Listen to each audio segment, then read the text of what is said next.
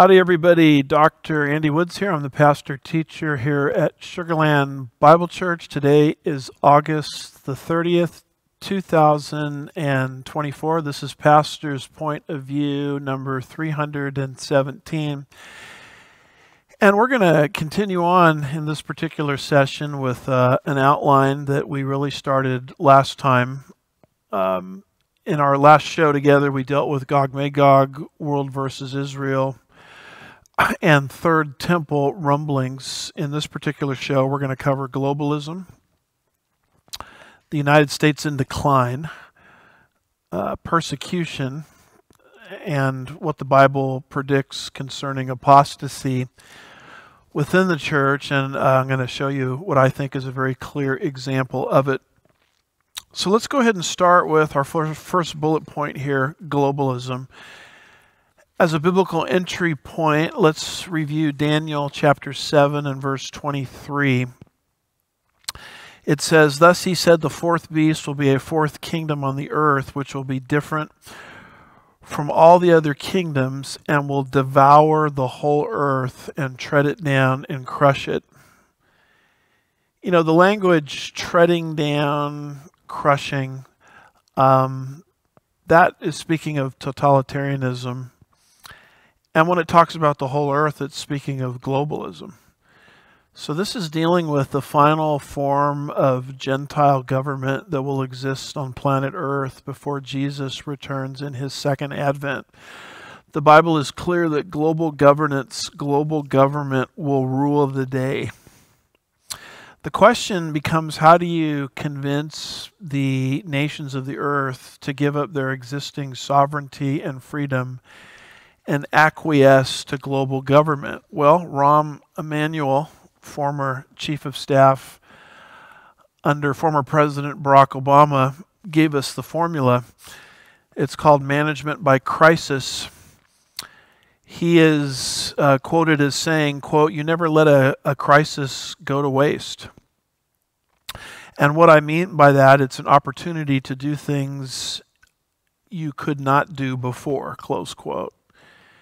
In other words, government thrives on a crisis. Once a crisis hits, then government holds itself out as the savior to, to, for that crisis and increases its own power.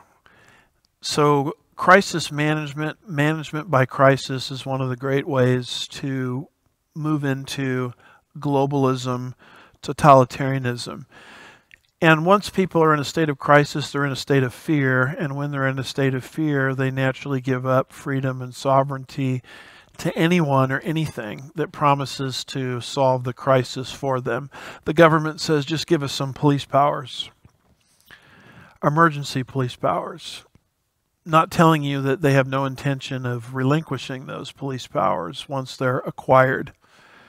Notice what quintessential globalist George Soros recently said. He said, quote, what is inconceivable in normal times becomes not only possible but actually happens. People are disoriented and scared. Now, we've seen very clearly the crisis mentality that enveloped our world in 2020, leading to unprecedented uh, infringements on personal liberty uh, we're of the perspective that another crisis is looming on the horizon. Whether it's real or manufactured, the globalists telegraph their agenda. I mean, if it's if it's a legitimate crisis, they'll exploit it. Or perhaps they'll push us into some kind of crisis that uh, uh, they themselves made up. Um, if the crisis is real, we'll exploit it, or perhaps we need to manufacture our own crisis. But notice what Justin Trudeau recently said. This is recorded in um, an article from the postmillennial.com, August the 17th, 2024. Keep in mind, Trudeau has led Canada into really unprecedented clampdowns on personal freedom.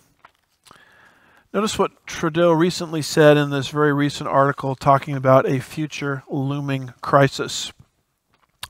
It says the Trudeau government is again warning Canadians to be prepared for a potential new virus that could cause food and fuel shortages.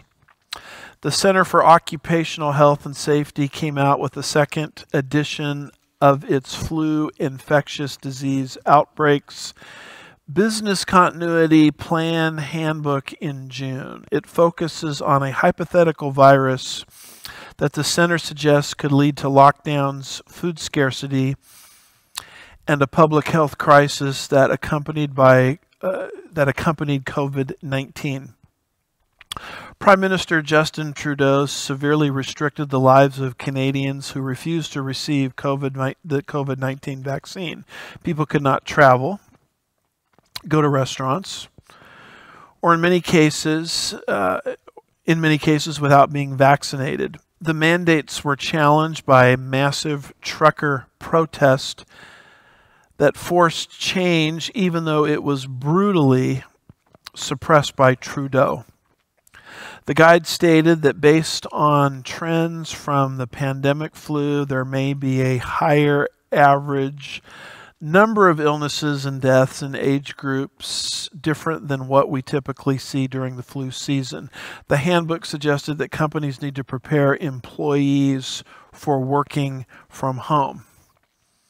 This hypothetical pandemic can be expected to come in two or three waves, about three to nine months separating each outbreak for about two years. The report, report further predicted problems in the supply chain, communications, and banking while expecting scarcity of water, gasoline, medicine, and food. While Canada quietly prepares for another pandemic, former National Institute of Allergy and Infectious Diseases Director Anthony Fauci has again urged Americans to mask up because COVID 19 is apparently on the rise again. President Joe Biden also is preparing for hypothetical viruses, creating a permanent pandemic preparedness office. Health official, officials have been fretting about bird influenza for months, even though the virus is unlikely to affect humans. The World Health Organization is now calling monkeypox or mpox a public health emergency of international concern, even though the disease is largely transmitted by male sexual activity. WHO director, last name Gabrenis, has determined that the upsurge of monkeypox in the Democratic Republic of the Congo and a number of countries in Africa constitutes a public health emergency of international concern, sometimes called a PHEIC, Public Health Emergency of International Concern. Under the International Health Regulations 2005, the agency posted on its website Wednesday. In other words, this crisis mentality that we saw in 2020 is not going away. A lot of people think that COVID 19, with all of the government masking, clampdowns, crowd control, surveillance that we saw, a lot of think that is in our rearview mirror. But when you simply listen to these globalists talk, whether it's Gabrenis, Biden, Fauci, or Trudeau, they're constantly constantly contemplating, dare I even say, constantly constantly salivating over the next crisis as another way to grow government. And the interesting thing about uh, world health is it can't be solved within international borders.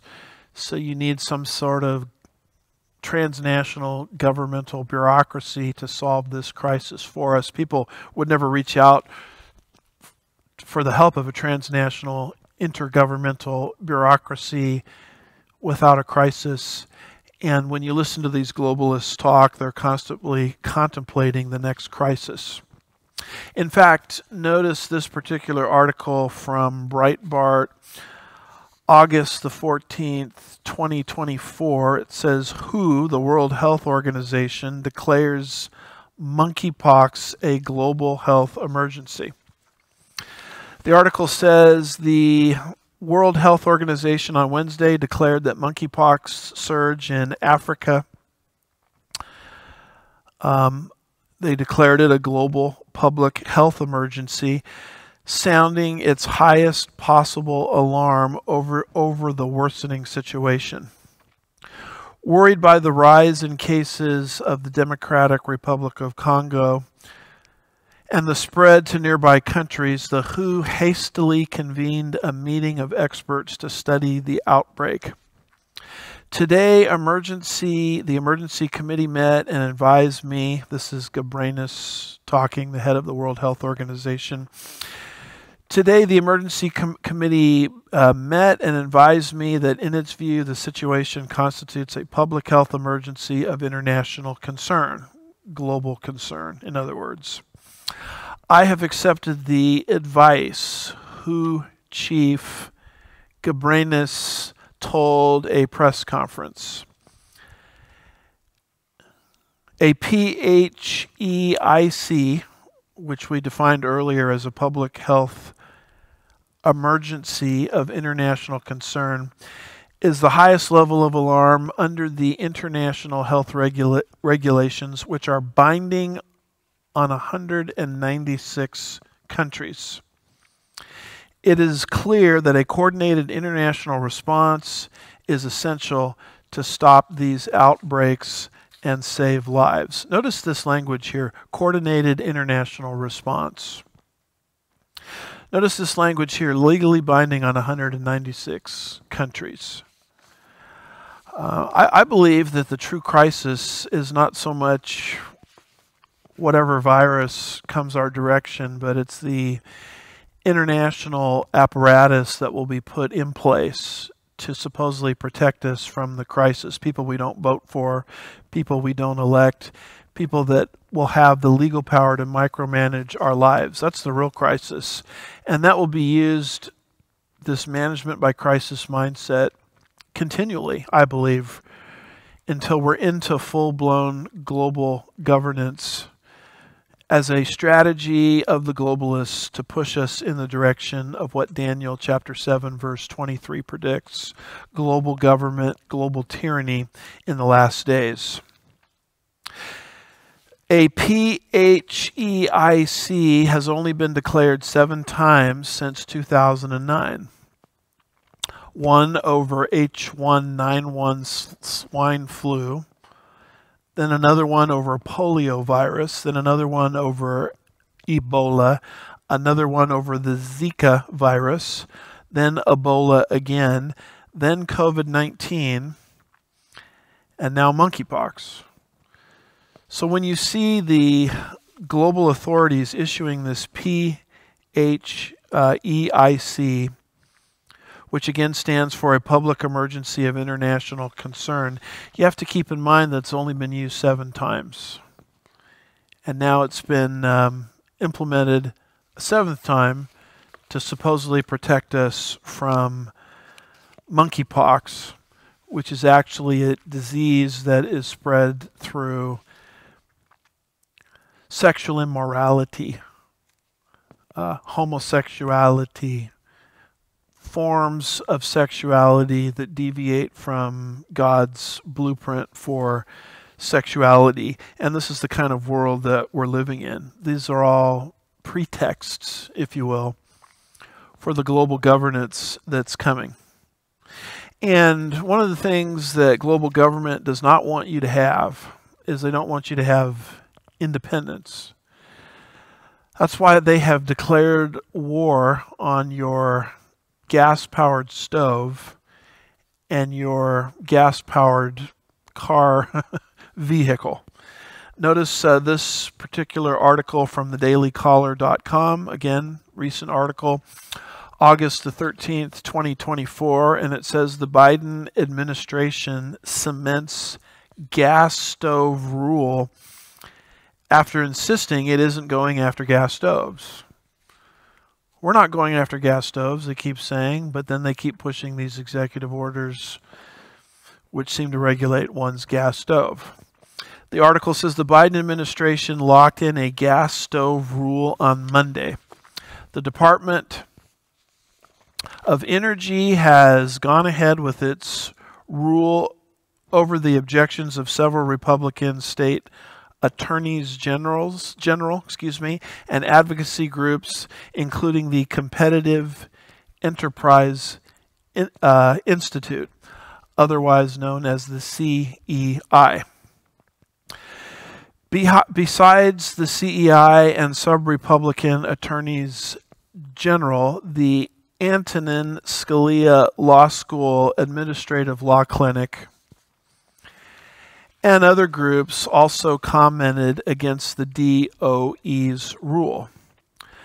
Notably, Biden administration officials submitted an amicus brief asking a federal court to reverse a decision that nixed Berkeley, California's 2019 ban on gas hookups in new buildings a policy that ostensibly could have outlawed the installation of gas stoves in newly constructed buildings. The article concludes when it says more than 80% of Republican respondents and 71% of independents were opposed to policies that would induce a gas stove ban, as were 55% of surveyed Democrats. So it's interesting how they keep saying, you know, we're not going after the gas stove. And then they keep passing policies that go after the gas stove through an executive order. I think what you're seeing at play here is the Hegelian dialect. The change comes from the conflict between the thesis and the antithesis. Thesis, let's regulate gas stoves. Antithesis, let's not regulate gas stoves. Middle ground, let's come up with kind of a moderate regulation of gas stoves. And once they get that moderate regulation, they could push the ball forward, you know, to further regulations on gas stoves. The issue becomes why are they perpetually going after the gas stove? Well, the answer is a gas stove allows you to be independent. If there's some kind of electrical power shutdown, eh, you know, if the government decides you're non compliant with the government narrative, they can th- click a button and your ability to cook food on an electric stove disappears. Now, think about this for a moment. They don't have that ability related to gas stoves because it's an independent source of energy. The New World Order doesn't want you free, it doesn't want you independent. It's the same reason why there's this perpetual push to get us into these electrical powered cars because the same issue is in play. If you step out of line, uh, if you're not compliant with the government narrative, if you're politically incorrect, then with the click of a switch, you're cut off from electrical power. If you're cut off from electrical power, then your ability to travel is limited. The government can't do that when you're in a gas powered vehicle. So that's why you're seeing all of this push towards uh, electric stoves only in the name of protecting the environment and electrical cars only in the name of protecting the environment. It's a ruse, if you will, to take the population of the United States and really the population of the world and make it dependent upon the New World Order, not independent of the New World Order. So these are all signs that we're moving into more aggressively global governance. Management by crisis is constantly being used to get us to acquiesce to giving up more freedom, sovereignty, independence, and liberty. And the moment we move into these electrical vehicles and electric stoves and we're cut off from independent sources of power and energy, the more dependent we become and the easier it is for the New World Order to keep control and to keep things under control. One of the things that has to be destroyed before the New World Order can come into existence is a free and independent and prosperous United States of America. So, this moves us into our next bullet point the United States of America in decline. As America declines, it creates a vacuum for more and more international global control. You can't have a new world order with a free and independent America and a Constitution and Declaration of Independence which grants our citizens so much freedom and so much opportunity as inalienable rights from God. That concept has to disappear to pave the way for maximum governance of the New World Order. So, the, so all of the articles that you see about the decline of the United States of America are largely preparatory for global governance, which we know is on the horizon, albeit Daniel uh, chapter 7 and verse 24. So the United States of America, make no mistake about it, is in precipitous decline. And all you have to do is look at the campaign slogans of one of the individuals that at the time of this recording is running for president. Uh, in essence, what she is advocating is Marxism or communism, which has really never worked throughout the world. I mean, there's a reason why the world is trying to get into our country, as I'll explain in just a minute. It relates to the fact that the Marxist utopias that people have been promised in other parts of the world didn't work. And so, as our country flirts with communism and Marxism, it will lead to the precipitous decline of the United States of America. Notice this article here from the Washington Post concerning Kamala Harris's Marxist policies that she is now advocating as she is seeking to be elected President of the United States this November. It's an opinion piece, and it says the Times demands serious economic ideas. Harris supplies gimmicks. Price gouging is not causing inflation, so why is the vice president promising to stamp it out? Question mark. In other words, what she's interested in is price controls or the government controls prices as a means of controlling inflation. She's not advocating reducing government spending. She's not advocating reducing our national indebtedness. She's not advocating as a solution to controlling inflation um, independent energy, domestic oil exploration. What she wants to do is the government to get involved in setting the prices of things, which is which is nothing more than Marxism, where the government tries to control the free market. Notice this from the New York Post. It's a cover shot. It's entitled Communism, named after Kamala Harris. And the headline reads Harris unveils a budget breaking $1.7 trillion economic plan that includes government price controls.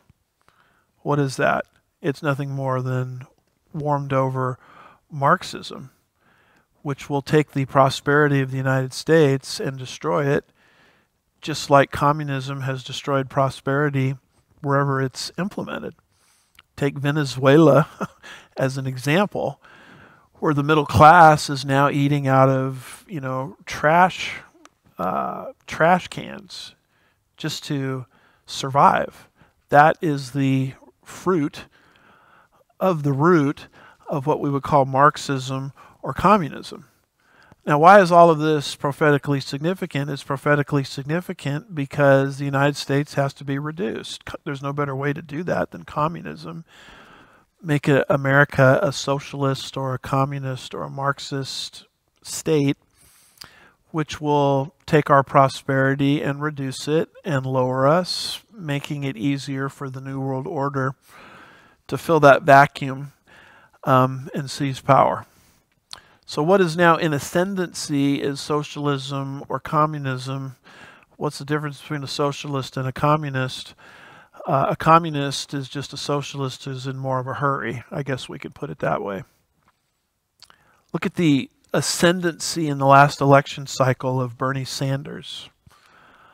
All of these young people voting for Bernie Sanders, who's basically a, an avowed socialist, because he's promised to give them certain things, like getting rid of their student debts or whatever. And people don't recognize this as government control, Marxism, or communism as these ideas become more and more popular. They certainly were popular in the Bernie Sanders election cycle. They're certainly popular with Kamala Harris. We largely see these things as a fulfillment of God's prophetic word, which doesn't predict a free and independent and prosperous United States of America, but maximum uh, global governance. One of the things that is lowering the United States of America aggressively is our open borders policy. Notice this slide here, it gives you the divine institutions. These are the institutions that the Creator has built into the fabric of fallen creation, allowing fallen creation to be sustained. Uh, societies that acknowledge these divine institutions survive and thrive. Those that reject these divine institutions find themselves on the ash heap of history. Recognizing and following these divine institutions is what makes any country great. Proverbs 14, verse 34 says, Righteousness exalts a nation. Nations that acknowledge God and respect what He has built into the fabric of fallen creation related to divine institutions generally prosper. There's the institution of conscience marriage and the family.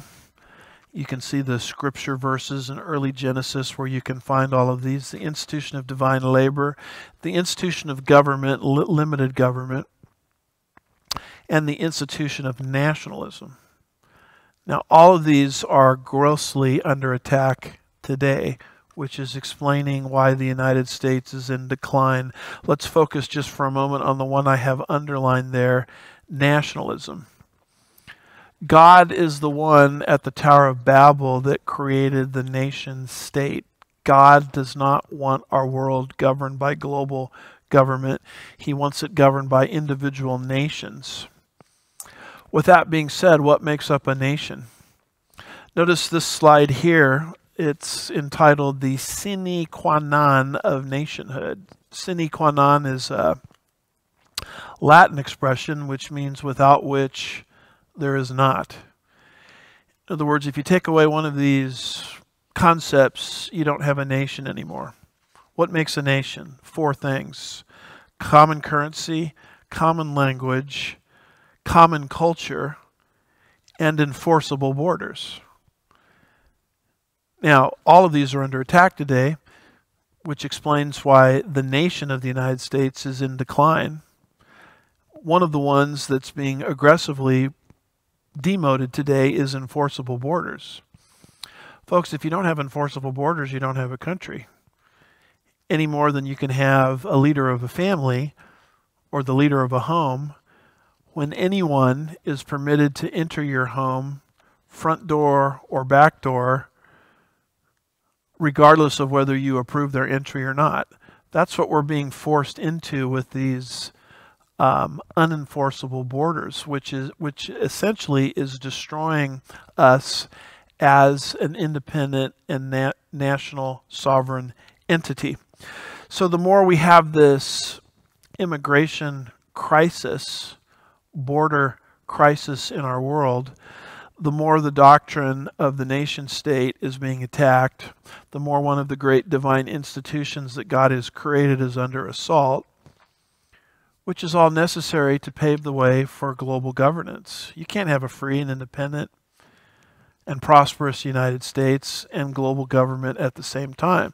So the United States has to be sort of whittled down to size. And one of the ways this is happening is through open borders.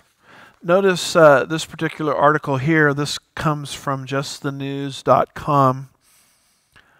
August the 17th, 2024, it says illegal border crossings surpass 12.5 million since Biden Harris took office, the most in U.S. history. The article says the total number of apprehended illegal border crossers surpassed 10.5 million in July, with two months left in the fiscal year, which ends September the 30th. That number excludes 2 million gotaways, those who illegally entered and, and evaded capture, bringing the total number up to more than 12.5 million. That is greater than the individual populations of 45 states. If illegal border crossers were a state, they'd be the sixth most populous state ahead of Illinois. No other presidential administration in U.S. history has ever reported even a fraction of the 12.5 million in one term, let alone multiple terms combined. As the Center Square has reported every month since early 2021, after President Joe Biden took office, the number of illegal border crossers increased. Despite the false narrative they're attempting to project, the unprecedented border crisis the president and his border czar have created continues to rage on. U.S. House Committee on Homeland Security Chairman Representative Mark Green, Republican of Tennessee, said. Green said the Biden Harris border policies have done damage that will take decades to remedy. And for the families of Americans like Laken Riley, Rachel Morin, Jocelyn Nungaray, that damage will never be undone, referring to two women and a 12 year old girl who were murdered by criminal foreign nationals released into the country by the Biden Harris administration. The benchmark for records is the unprecedented number of ap- apprehended at the northern border, the highest by far under this administration than any other recorded in history. So the truth of the matter, folks, is we're not in the middle of a border problem. we're in the middle of a border crisis. Our borders literally are wide open, which is not sustainable for any country. And I believe that this open borders mentality, as demonstrated by the Biden Harris administration, is by design. It's designed to reduce the United States of America to almost nothing because their agenda is globalism, not nationalism. In other words, they're trying to reverse what God implemented at the Tower of Babel. Now, to prove this, I want to show you this quote here from Kamala Harris, who is seeking to become the next president of the United States. Uh, this is a comment that she made back in April of 2021, and it's an astounding comment because people are asking how come they're not enforcing the border? How come she doesn't visit the border? How come she's the border czar and demonstrates very little knowledge of the border? There's a reason for that. She has taken the concept of border enforcement and outsourced it to the UN. Notice what she says. Quote, we're going to be increasing requests that we're making of our allies in the United Nations, Harris said. Harris continued, insisting that the United States must institutionalize and internationalize the migration issues. This has to be a function of an American priority, but we are a neighbor in the Western Hemisphere, she said noting that she has been working with the UN to help, uh, excuse me, to obtain help from the international community. I hope you see what she just did in that quote. She just took the concept of border enforcement and out- outsourced it to the United Nations, outsourced it to global governance. In other words, it's not the responsibility of the United States to import, uh, enforce its own borders. That's the collective responsibility of the various nations of the earth under the United Nations. And a lot of people just scratch their head as to why our borders are wide open, why Kamala Harris doesn't do any meaningful visitation to the border, even though she's the border czar. Well, in her mind, the border is basically irrelevant. They outsourced that to the United Nations a long time ago. And so you see what's happening here. We don't have enforceable borders. We're not a nation without enforceable borders. And that's by design to fit us into the great framework of the global community which is a pretext for global governance. And so all of these things that we're reading about are flirtation with communism, wage and price controls, open borders. That's all by design to reduce the United States, which has to be reduced to have global governance. I mean, the people of the earth are not going to look to global government as the solution to their problems as long as a free and independent United States of America exists. And so everything that we're seeing here concerning the deliberate demolition of the United States of America is prophetically significant because it's pushing us into the New World Order. Let's move to our next uh, major area here, second to last, and this has to do with persecution. I mean, no one wants to talk about persecution against God's people through the heavy hand of government, but that's something that will manifest itself in the last days. It's predicted in the book of Revelation. Chapter 17 and verse 6, John describing the one world system of the last days says, I saw the woman drunk with the blood of the saints and with the blood of the witnesses of Jesus. When I saw her, I wondered greatly. Verse 15, and he said to me, The waters which you saw where the harlot sits are peoples, multitudes, nations, and tongues. The harlot is the last days system of the Antichrist, covering, in terms of its influence, the whole earth. And then notice that this harlot or this woman is drunk with the blood of the saints. She is involved in aggressive persecution against the people of God. I believe that many of the things happening abroad, I'll talk about some things happening at home in just a minute, but some recent things happening abroad are pushing us into the type of persecution that the Bible predicts for the end of the age. Notice this article here by Fox News, August 9th, 2024. It deals with what's happening in the UK. It says the UK police commissioner threatens to extradite, jail U.S. citizens over online posts. We'll come after you. Being a keyboard warrior does not make you safe from the law, the police commissioner warned. What's happening is you're seeing people criminalized, prosecuted, convicted, jailed, punished in the UK for what they post online. Notice what the article says. London's Metropolitan Police Chief warned that officials will not only be cracking down on British citizens for commentary on the riots in the UK, but on American citizens as well. In other words, if an American posts something that is considered hate speech in the UK, hate speech is very nebulously defined. I mean, that's like a you can make hate speech into anything. Well, such individuals will be extradited. What he's saying here, legally taken from the United States, brought to the UK to be jailed, prisoned, and punished totally based on what you happen to post online. I mean, this is the type of world drenched in totalitarianism that we are descending into. He says, We will throw the full force of the law at people.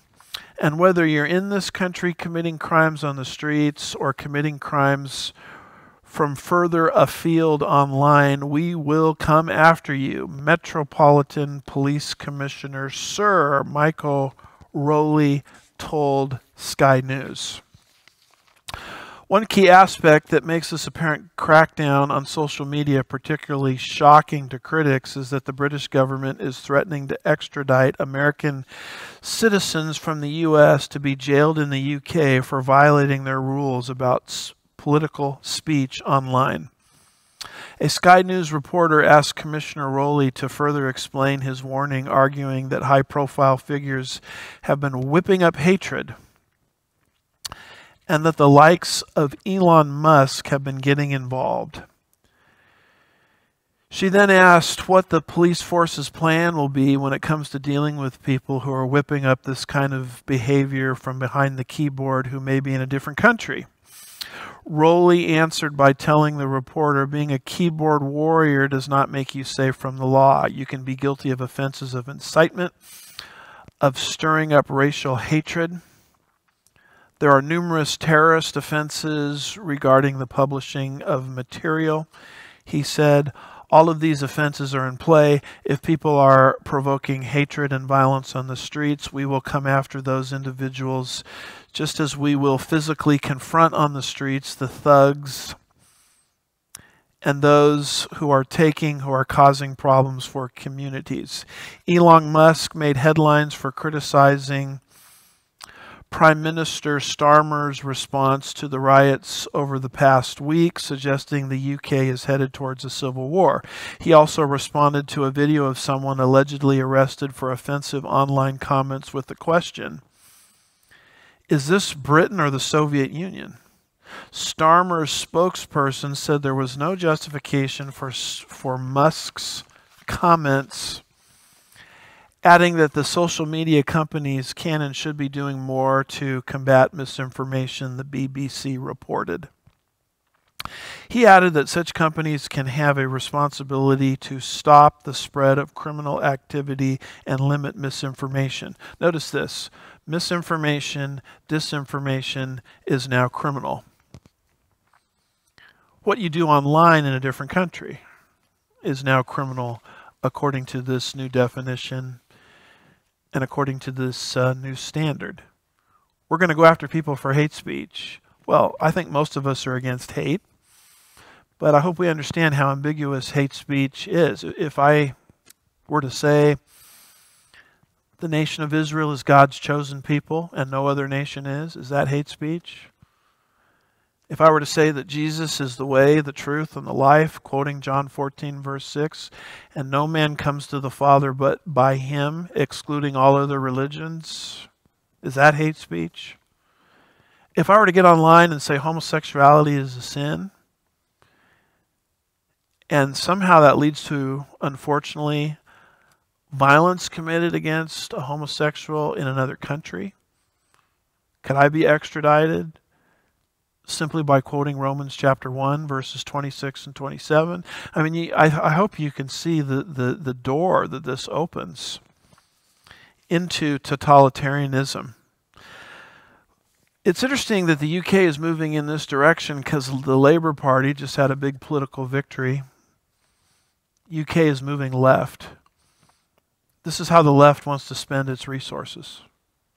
I mean, think of all of the resources that they're expending here to go after true crime, drug dealers, shop breakers, and instead they're pouring all of that energy to what people in other countries post online.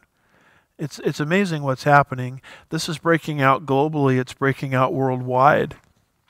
Here is um, another post uh, this one also from Fox News, written by Alexander Hall. It says UK Police Commissioner threatens to extradite jail U.S. citizens over online posts.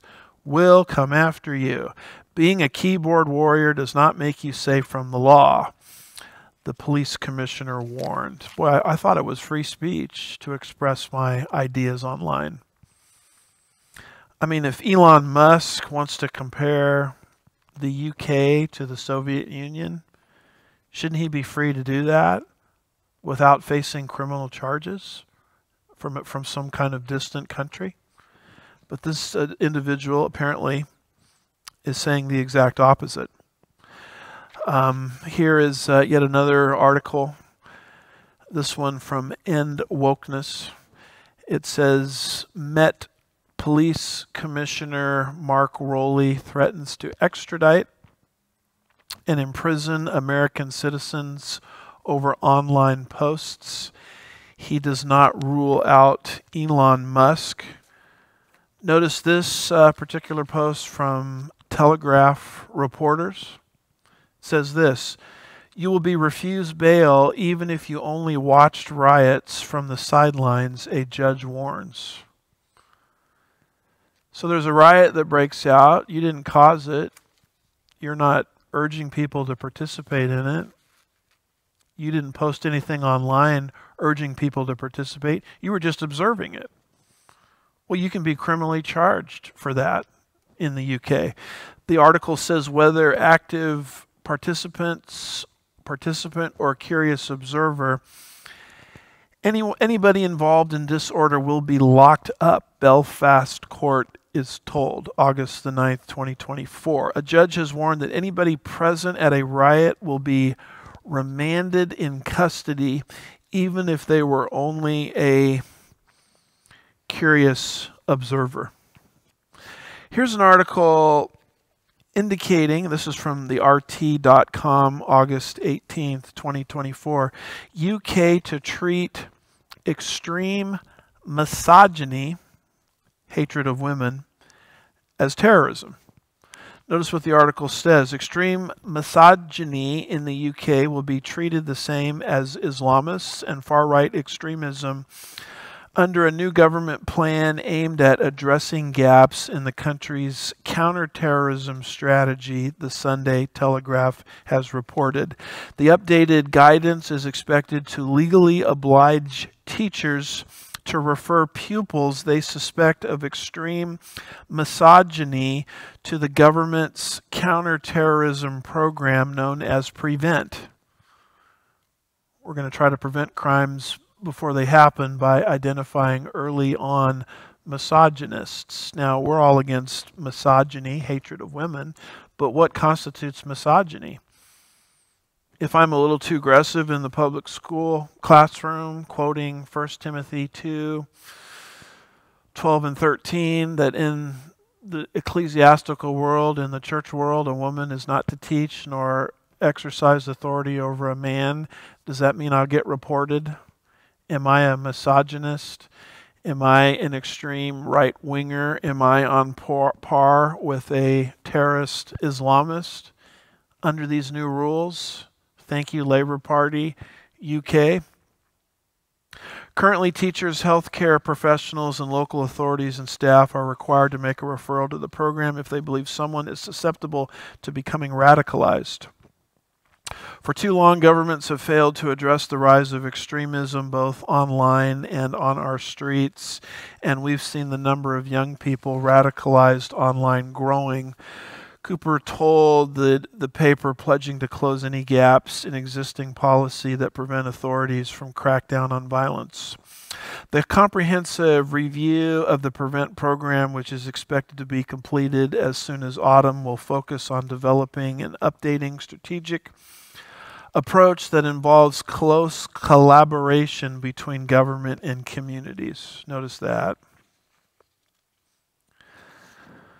The list also includes online subculture called INCEL, short for involuntary celibate. This refers to a misogynistic worldview promoted by men who blame women for men's lack of romantic prospects.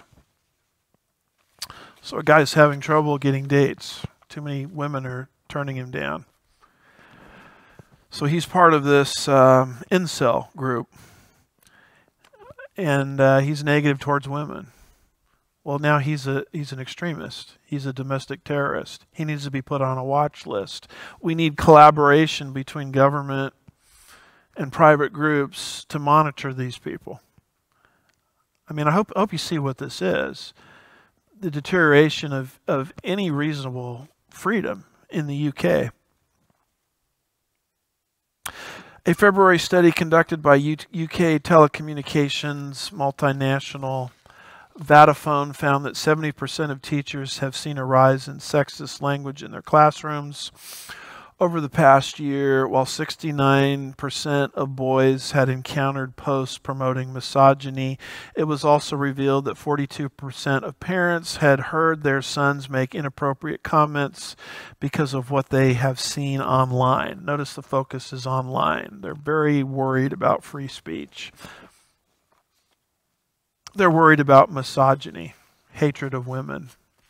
Well, so am I but I don't want to get into the business of classifying would be misogynists and criminalizing them for simply holding an attitude, expressing a thought, posting a sentiment online. And this is what's happening abroad. The concept of freedom of speech, freedom of association is rapidly deteriorating worldwide. It's tragic to think about all of this but at the same time, it's what God said would happen. It's a sign of the times. Here's an article. Uh, this one put out by Sky News, August the 4th, 2024. It says Sound familiar, Australia? Prosecution of a novelist who dared criticize Germany's authoritarian government sets a very dangerous precedent.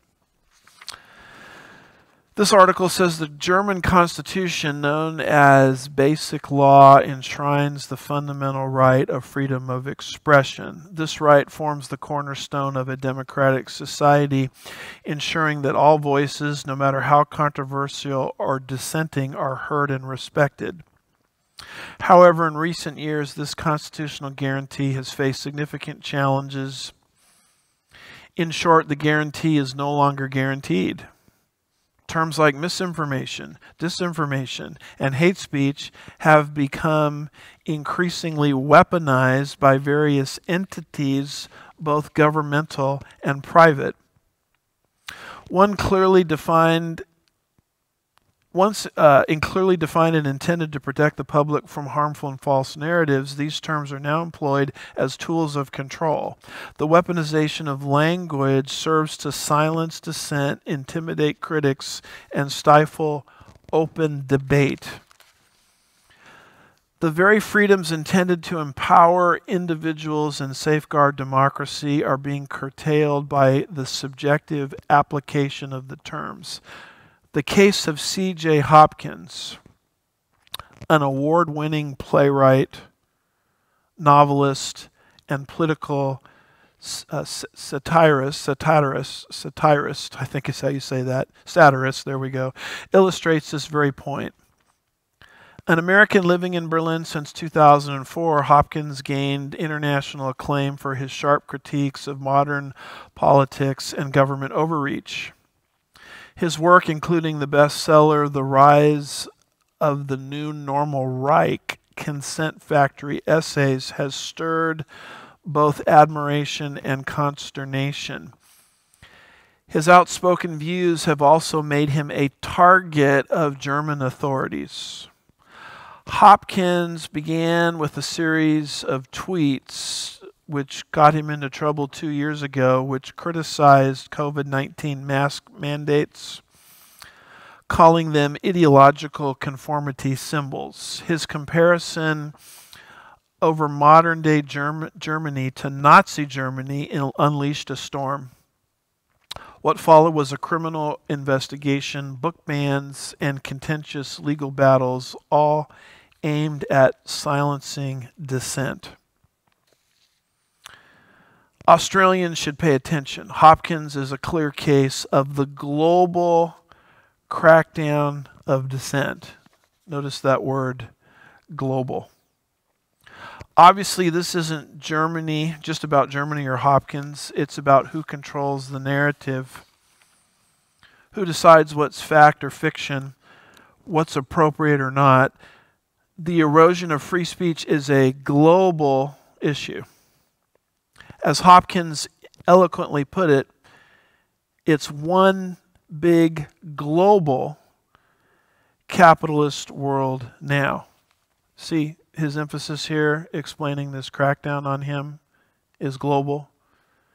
Doesn't does that sound like global government persecuting a certain class of people? That's what's breaking out in Germany. It's what's breaking out in the UK. It's breaking out in Australia. It's breaking out at home here, as I'll show you in just a moment.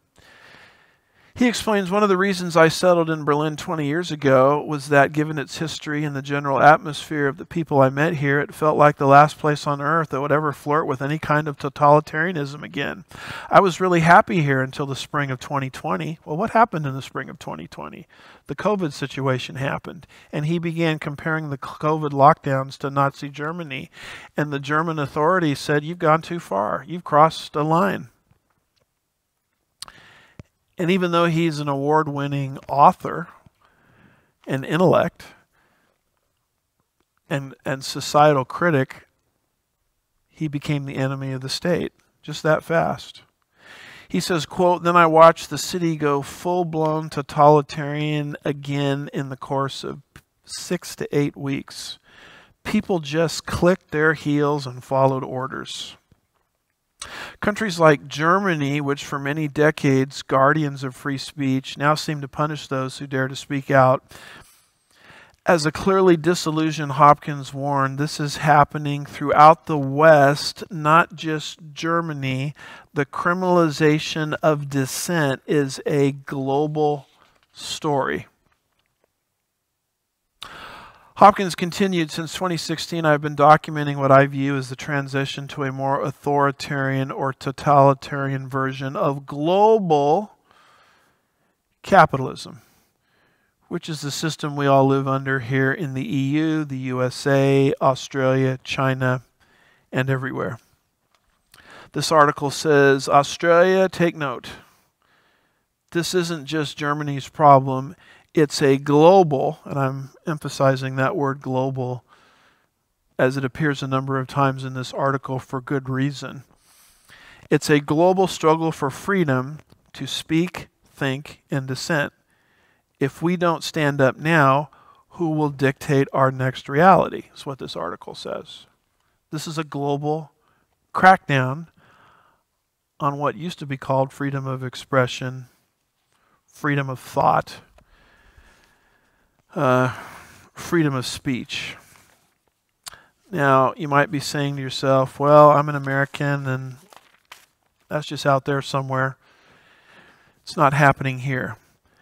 It is happening here. Our very Constitution is constantly being set aside. Notice this particular article from WorldNet Daily, Bob Unruh, August the 16th, 2024. It says a man wrongly convicted of murder cannot rid himself of prosecutor Kamala Harris's cackle in his face.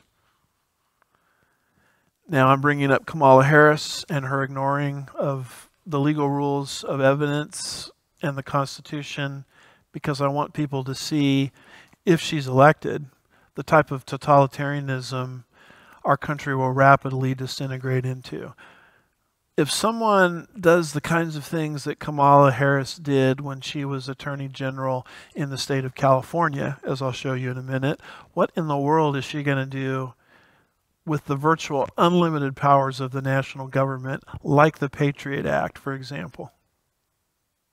I mean, if she abused her position as Attorney General in California, what is she going to do with the whole country?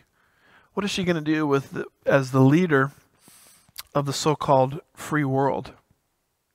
Here's what the article says It's the Daily Mail that reported that on the taunt from Harris in a case involving a California man, Jamal True He was wrongfully convicted of murder by Harris and now he's and now has charged that she laughed in his face when the verdict was read in court. He was sentenced to 50 years, but it turned out he was framed by police for the shooting death of his friend in 2007. Harris was the prosecutor in San Francisco at the time. The conviction was overturned, but only after Trulove spent six years in prison for something he didn't do. In an interview with the Art of Dialogue talk show, he said he's been unable to shake Harris's cruel taunt We locked eyes this one time and she laughed, he said. She literally just like kind of burst out laughing almost as if she was pointing, ha ha. See, a lot of people look at this Kamala laugh as signs that she's a little odd, but he's saying it was ridicule aimed at him, like, I got you, and I threw away your rights to get you convicted of a crime you never committed. Trulove was exonerated in 2015 retrial, charged in his civil case that four officers fabricated evidence, forced a key witness, and withheld critical, critical information. The civil jury determined two homicide detectives violated his civil rights. Worse than pursuing a wrongful conviction, Harris has been accused of trying to keep those convictions when they are documented is wrong. It is Laura Bazelon, formerly director of Loyola Law School's Project for the Innocent, who explained, quote, most troubling, Miss Harris fought tooth and nail to uphold wrongful convictions that had been secured through official misconduct that included evidence tampering, false testimony, and the suppression of crucial information by prosecutors. I mean, this is what Kamala Harris did as the Attorney General, the leading law enforcement official in the state of California, related to a man who was wrongfully accused, spent five years in jail, later exonerated, critiqued by a loyal excuse me, Loyola Law School professor because she fought tooth and nail to uphold wrongful con- convictions that had been secured through official misconduct that included evidence tampering? You're going to trust someone like that with the powers of the national government? I mean, if, she, if she's elected, the type of persecution that we're seeing now is about to move into full orbit. I don't want to see it come. But at the same time, I understand that it's prophetically significant because God said global government will persecute God's people in the end times. Revelation chapter 17 and verse 6. Well, cheer up, folks, it gets worse. Here's an article from Just the News. Double standard. Tulsi Gabbard, you remember who brought some of these issues out about Kamala Harris in a presidential Democratic primary. Tulsi Gabbard has been put on a watch list while a terror suspect is let go to plan assassinations. August the 9th, 2024. It says while the Biden administration placed former Rep Tulsi Gabbard on a watch list, the FBI released into the U.S. on special parole a Pakistani man who sought to plan the assassination of Donald Trump and other politicians. According to several whistleblowers, Gabbard, a military officer and a former Hawaii congresswoman and presidential candidate, a conservative now, in other words, was placed on a watch list under Quiet Skies, a TSA surveillance program designed to focus on law enforcement resources on travelers that represent an elevated risk to aviation security. Gabbard confirmed the heightened security attention on her in an interview with Matt uh, Taibbi, I think is how you say that. She described when she boarded a flight, TSA agents conducted a thorough screening patting down every inch, searching all corners of her luggage, and individually inspected her electronic devices. I've got a couple of blazers in there, and they're squeezing every inch of the entire collar, every inch of the sleeves, every inch of the edging of the blazers, she told the interviewer. They're squeezing or patting down underwear, bras, workout clothes, every piece of clothing.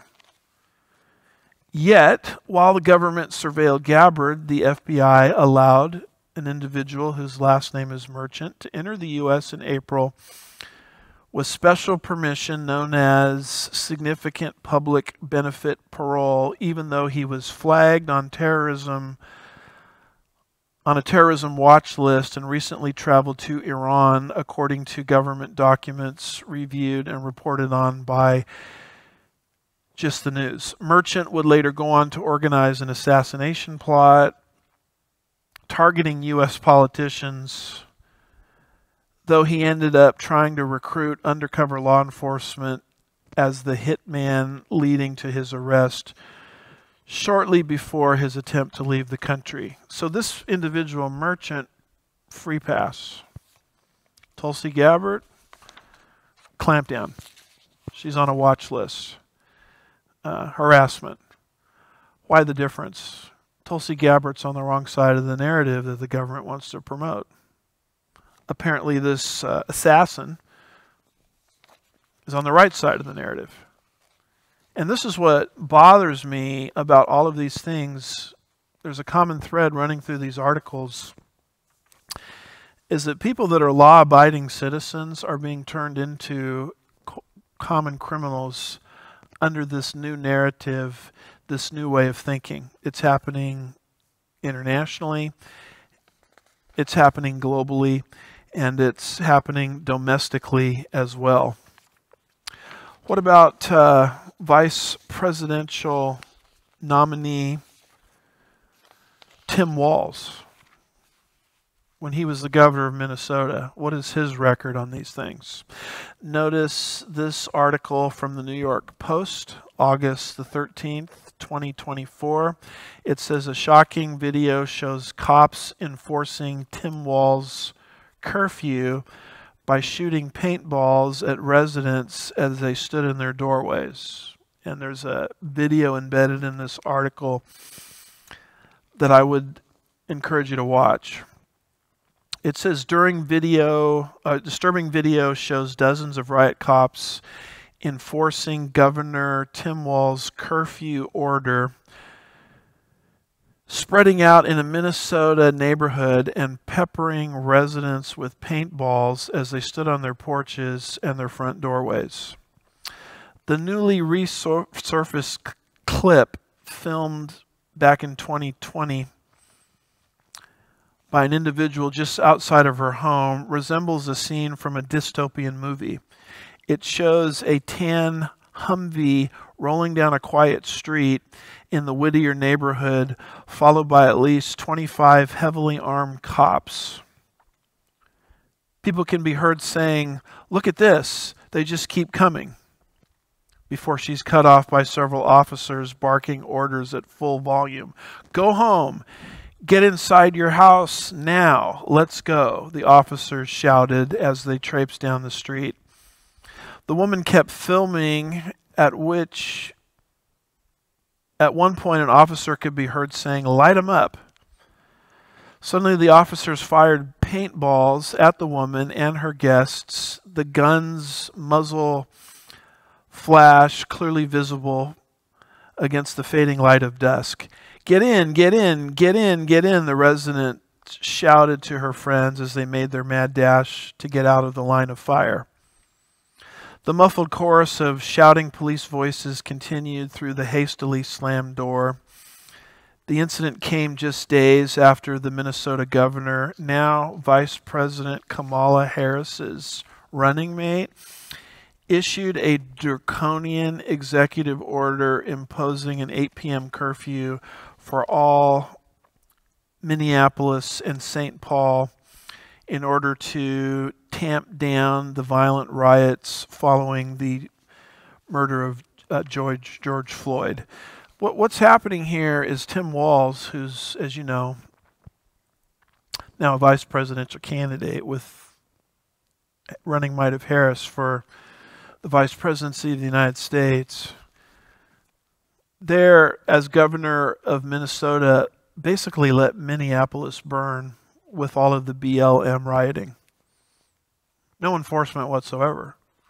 But then he issues this curfew, and related to law abiding citizens in a middle class residential neighborhood who do not abide by his curfew and are not in their houses by 8 p.m., he instructs his police officers to shoot paintballs at them.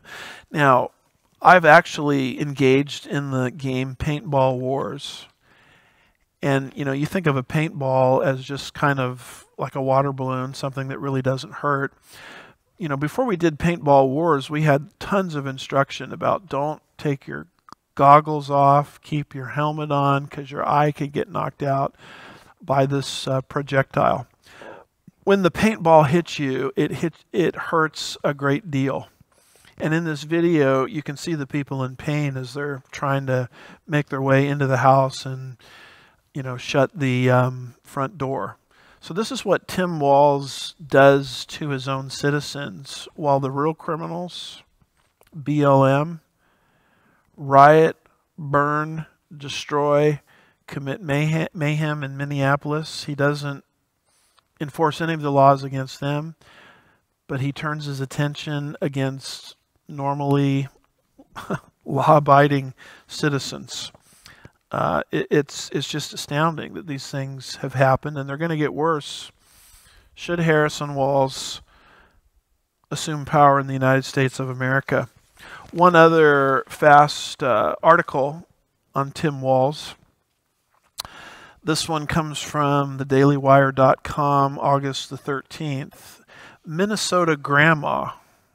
This is a grandma. See how the law abiding are being turned into criminals under this new totalitarianism? A Minnesota grandma says Walz is a bully and evil after she was locked up for violating his COVID policies. Minnesota Grandma Lisa Hanson labeled her governor Tim Walz a bully and evil after she was locked up for violating his COVID policies and said the legacy media is lying to you about Vice Presidential Kamala Harris's running mate. In an interview with Fox News, the former wine and coffee bistro owner said that Walz is cuddly couldn't be further from the truth, warning Americans about the kind of tyranny Walz has put on Minnesotans. Hanson was sentenced to 90 days behind bars and served 60 for violating Wall's lockdown order. She explained that she missed her wedding anniversary, Christmas, the birth of her grandchildren, because of the governor. Not to mention that she said Walz shut down and destroyed her family business, the outlet noted. He shut down a lot of mom and pop shops, those folks that were just trying to make a living and provide a great product and a great service, Hanson said. In contrast, he allowed big box stores, etc., to stay open. Really incredible an incredible use of tyranny, the T word, against people. The grandmother said that eventually she decided to reopen when Walz was refusing to let her business do so. I can never have that time back. That time was stolen from me, Hanson said. My business was destroyed. My business is gone. After everything that happened, Tim Walz and Keith Ellison, a Minnesota attorney general, destroyed my business. They wrecked my life, Hanson said. After incurring tens of thousands of dollars in legal fees and fines, she eventually closed her business after all the pressure from Wall's government. This is a story that America needs to hear that Tim Walz is not some cuddly, joyful coach like all these mainstream media types are calling him, Hanson said. This is not who this man is. This man would like to take away your rights. He will take away your rights. What happened to me will happen to you. I've heard some people say that Walz is a really nice guy. Yeah? Well, he's not, she added. Take my word for it. Through this whole process, I've gotten to know other people. Similar things have happened to them when they were trying to run their businesses and survive. So, Tim Walz and Attorney General Keith Ellison really like to go after women. Notice who they're going after women, grandmas, not CEOs of major corporations, but those that run mom and pop stores. They're bullies. This is what they have done to the state of Minnesota. So let America know you do not want Tim Walz as vice president. You do not want tyranny at this level. We, the people of Minnesota, have seen what the Tim seen what Tim Walz, the type of evil he orchestrates if elected as vice president of this country. He is in lockstep with Kamala Harris, who is also evil will perpetuate this same type of evil on the American people. We do not want that. So, this is the truth about Tim Walz. I would like to see him impeached. I would like to see him prosecuted for the crimes he has committed against the people of Minnesota, Hanson said. Tim Walz has accomplished a lot of horrific things in the state of Minnesota in a very short amount of time that man is a wrecking machine. He needs to be stopped. End of article. Stunning. The type of totalitarianism that already exists abroad in the United States and will surely escalate should Walz and Harris assume the presidency and the vice presidency of the United States of America. Uh, persecution and tyranny are here. God said it would come and now it's coming right through our own front door. Let me take you to this uh, final category, and with this we will be done. It has to do with apostasy.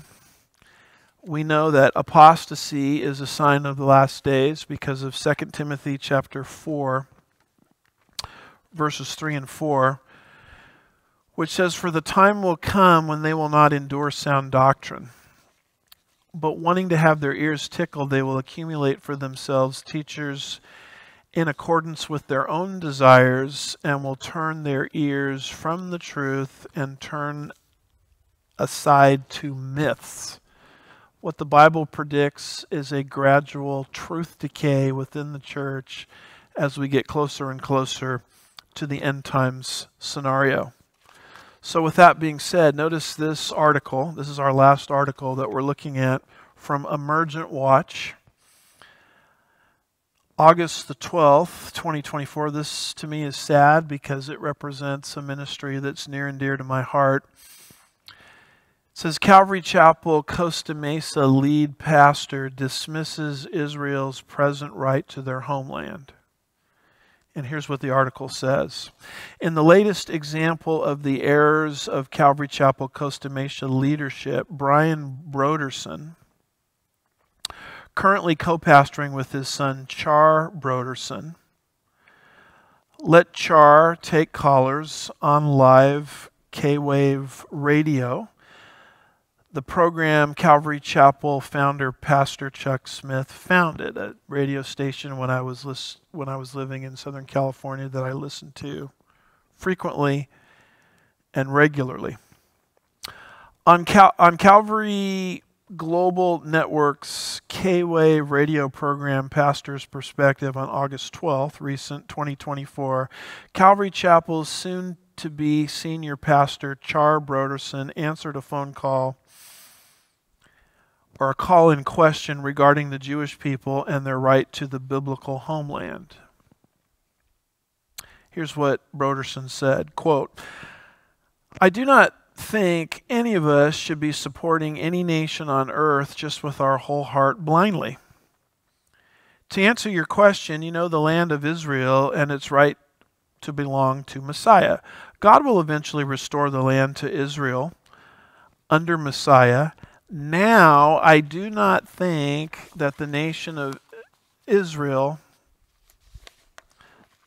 that it is now a fulfillment of that promise. Because the detail is missing that the Messiah is there and being submitted to and recognized for his authority as the true and only king. And that's not happening. So I do not think the modern state of Israel is the fulfillment of these biblical prophecies and promises. Now, this is a ministry under its founder, Chuck Smith, that had a great impact on my life. Uh, I grew up in the Orange County area. I frequented his Sunday evening services at Calvary Chapel, Costa Mesa for years. And he was always pro Israel. And he always taught that the regathering of the Jewish people into their ancient homeland, although they're not yet in faith, was, was a work of God. And now, what you see here with Brian Brodersen taking over that role and now his son is that they are denying that Israel in the land today is any kind of fulfillment of Bible prophecy. The article does a nice job theologically refuting what Brodersen is saying by using Genesis 17, verses 7 and 8, and 1 Chronicles 16, verses 14 through 18. Let me read you the conclusion of the article. It says So on the K Wave radio program, Char or is saying that the Jewish people currently in the modern state of Israel are not the people spoken of in the Bible, and that thus are not biblically entitled to the land. And by extension, none of the prophecies and promises in the Bible would apply to them. The implication of this view, the implications of this viewpoint are legion not to mention being opposed to Calvary Chapel founder Chuck Smith's teachings in what appears to be yet another bid to be popular and relevant to the current culture. Char has again attempted to emerge from the outdated culture of Calvary Chapel. Now, you see what is being said here in this article. All of these new teachings that Israel in the land is not prophetically significant something that the founders of the Calvary Chapel movement didn't embrace, but apparently Brian Brodersen and his son, the heirs of those ministries, uh, do embrace. They're, they're promoting these ideas all under the guise of we have to reach the youth. Truth has to be jettisoned to reach the culture. I've watched since the 1980s uh, the seeker friendly movement, Rick Warren, Robert Schuller, Joel Osteen, etc., saying this over and over again. Let's de emphasize certain biblical truths because we've got to reach the next generation. Uh, Chuck Smith reached a lot of young people. He spearheaded, as God gave him the ability, the Jesus Revolution, where all of these hippies came to Christ, and he never watered down the truth. He always taught Israel in the land today, although it's not the final form of what God is going to do it's an initial step, and God has brought them into their own land in unbelief in preparation for that program. Now, as Char Brodersen moves away from that, he is engaged in apostasy. He is drifting away from truth previously known or truth previously acknowledged, which actually is what God said would happen in the end times. Now, I want to be really careful about this critique because every single Calvary Chapel pastor that I know, I know a lot of them, would not agree with what Brodersen is doing here. But there has been a, a split, if you will, in the Calvary Chapel movement where Brodersen is taking one wing of the movement one direction in more of a liberal direction, and there's others that are more conservative that are still holding the line. So I'm not trying to blanket or broad brush here.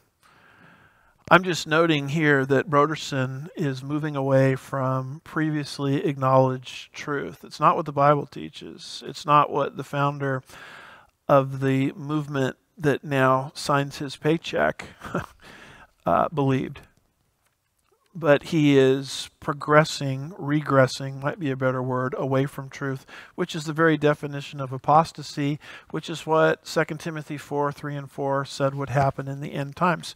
We need to do this to appease the masses, to scratch those itching ears, to win the young and the culture for Christ. I, I can't tell you the amount of apostasy I have seen in my lifetime under the banner of we need to do this to reach the youth.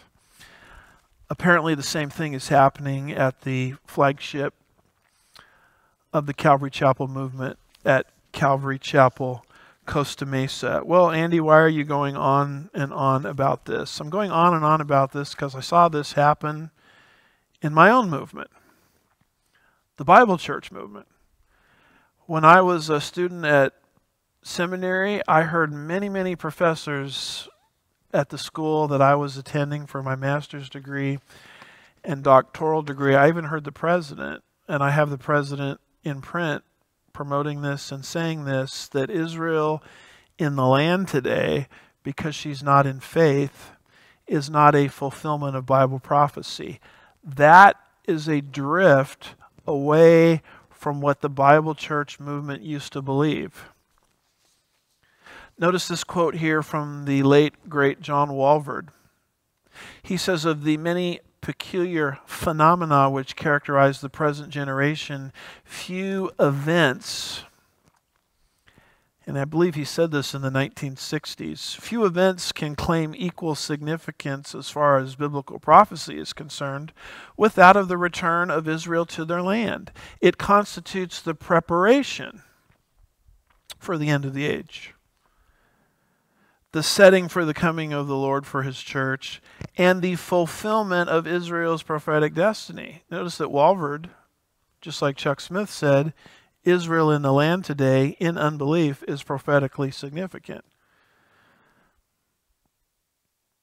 The new movement within the Bible church movement started to say, you know what, we don't really know if the Jews in the land today are prophetically significant. That's the same trajectory Char Brodersen is taking his wing of the Calvary Chapel movement through.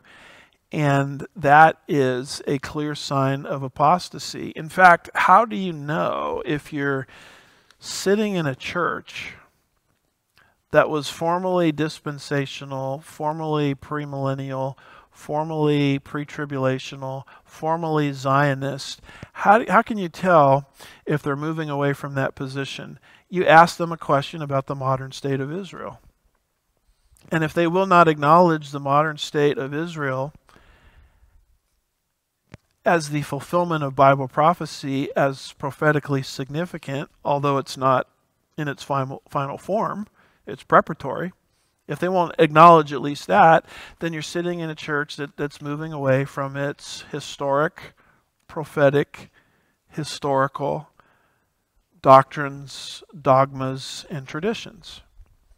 I mean, anytime you join a church, or want to become a member of a church or a regular attender of a church, and you sit down with the leadership of that church, you need to ask them the question what's your view on the modern state of Israel? And if they start to hem and haw and come up with reasons as to why they don't think the modern state of Israel is prophetically significant, then it's time to leave that church. In fact, in the Dallas area, we, our family, left a church because a missionary speaker got into the pulpit and denied that Israel, as she currently exists, is an outworking of God's purposes. This particular speaker said that Israel in the land today is Ishmael rather than Isaac. Isaac, the child of faith, Ishmael, the child of works. Israel is nothing more than a Zionist prop up nation. It's got nothing to do with God. And when I heard that, I said, to my wife, my family, we need to find another church because this church is moving away from what it has historically taught concerning Zionism, dispensationalism, premillennialism, pre-tribulationalism, etc. That is a key barometer that you can look at to to figure out if a movement is apostatizing from its roots in prophetic truth. Ezekiel 36, verse 24 says this For I will take you from the nations, referring to Israel, and gather you from all the lands and bring you into your own land. Then I will sprinkle clean water on you, and you will be clean, and put a new spirit in you. Ezekiel says God is going to bring them back in unbelief first. We're watching that happen. before he brings them to faith, which will happen in the events of the Great Tribulation period. And saying Israel in the land is not prophetically significant is to deny what Ezekiel 36, verses 24 and following, are speaking of. Notice Ezekiel 37. So I prophesied, verse 7, as I was commanded, and there was a noise, and behold, a rattling, and the bones came together. And I looked, and behold, the sinews were on them, and flesh grew, and skin covered them, but there was no breath in them. So I prophesied as he commanded me, and breath came into them, and they came to life. Son of man, these bones are the whole house of Israel. You see how God puts the skeleton together first, and the skin and the muscles. But at a later point, he puts the breath into the body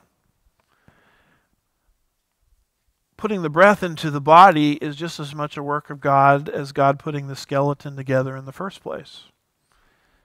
So when you see the Jews in the land today, just because they're not in faith, you don't say to yourself, well, the Messiah is not ruling, it's not a work of God. It is a work of God.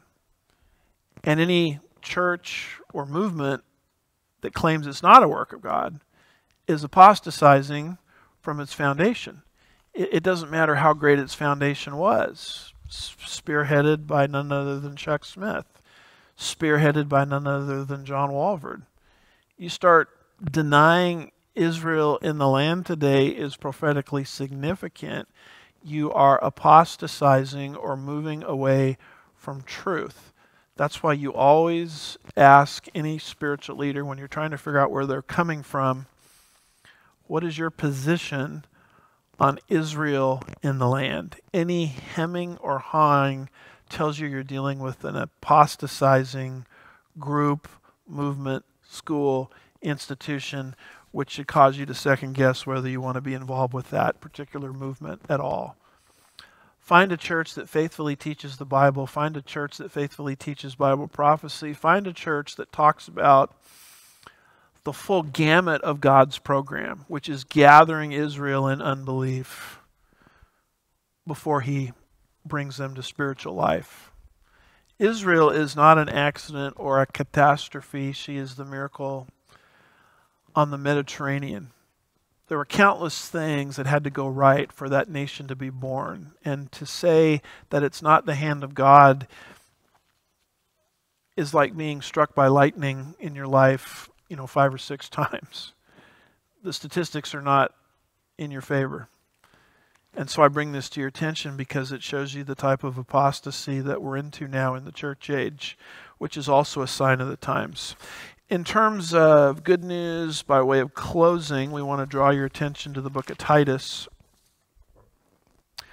chapter 2, verse 13 which is looking for the blessed hope and the appearing of the glory of our great God and Savior, Jesus Christ. Things are not falling apart, they're falling into place. Going back to our review slide, what we've dealt with in these two sessions is the Gog Magog alignment, the world against Israel alignment, movements towards Temple 3. In this particular episode, we talked about the trend towards globalism the significance of the USA in decline, the coming persecution, apostasy within evangelicalism. These are all signs alerting us to the messianic time period that we're living in, and yet through it all, there's some very good news. That before the wrath of God hits planet Earth, Jesus is coming to rescue his church from the earth via the rapture of the church, and people can be dialed into that promise even as I speak, simply by believing or trusting for their salvation in the finished work of Jesus Christ. I hope many people are doing that even now. A few uh, infomercials encourage you to download the Andy Woods Ministries app where you can get all of our recent content and even older content is constantly being uploaded onto that app. Enjoy Pastor's Point of View in podcast format, just go to wherever it is you get your podcast, type in Andy Woods Ministries into the search engine, and you can enjoy Pastor's Point of View in podcast format. I would encourage you to go to the Andy Woods Ministries website where there's a conspicuous way on the home page to, sh- to sign up for our show notes. These show notes that I'm reading from will show up in your inbox every time we a new, post a new Pastor's Point of View show. Our content can be found at that website as well. I'm the president of a school, Chafer Theological Seminary. If you're interested in seminary training, check out chafer.edu. And uh, we're now enrolling people for our fall semester. So take a class, see how you feel. A lot of quality classes being offered for this coming fall semester. Our academic journal is available. There's um, a slide there where you can access that via the QR code. I mentioned on the last show, which I'll re-mention again, the SLBC Prophecy Conference that's coming up February 21st through 23rd of next year, 2025. A great conference dealing with faith for final days, worldview, and prophecy issues. The best of the best presenting there, including Bill Federer, Olivier Melnick, Dr. Randall Price, all day conference on Saturday, banquet Friday evening at nearby Sugar Creek Country Club and invite you to stick around for our main services that Sunday, February 23rd, as our conference speakers will be presenting at those services. We have music from Olam Worship. Also, Claude and Rebecca Chu will be leading worship during the banquet.